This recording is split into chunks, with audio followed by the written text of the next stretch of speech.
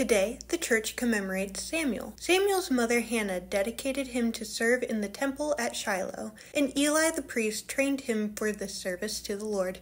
God literally called out Samuel in the temple and set him aside as a prophet at the time when there had been no prophets since Moses. Samuel worked as the mouthpiece of the Lord and fulfilled the role of the last judge and as a prophet to the people of Israel.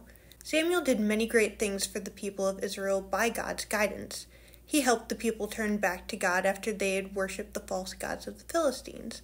When God granted the Israelites a king, Samuel anointed Saul as Israel's first king. When Saul turned from the Lord, Samuel was the one who rebuked him and took away his leadership. Later, Samuel anointed Jesse's son David as king by God's command. This established the line from whom Jesus, the King of Kings, would be descended to suffer, die, and rise for you.